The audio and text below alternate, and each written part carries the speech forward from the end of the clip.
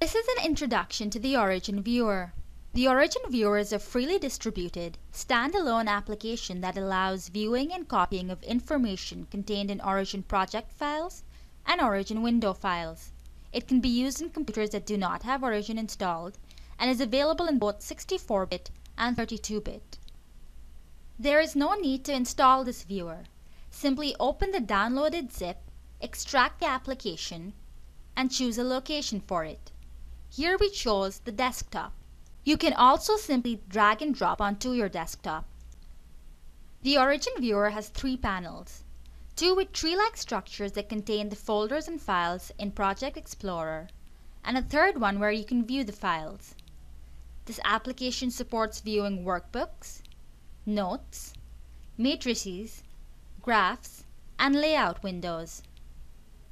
The viewer supports 3D graphs including the rotatable OpenGL 3D graphs introduced in version 9.0.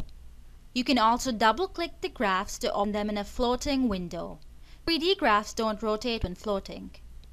It is possible to open multiple floating windows simultaneously, including notes. The floating windows can be resized for magnification. You can close each window individually or you can use this option. Another useful feature is copy paste. Go to edit, copy page or press Ctrl J. Now you can paste the graph in a third-party software such as Microsoft Word. You can also use the viewer to see the results of analyses such as this NL curve fit. The results report is dynamic so you can expand and reduce these tables. You can also copy this cell by selecting it and going to Edit Copy. Once again, you can paste it in a third-party software.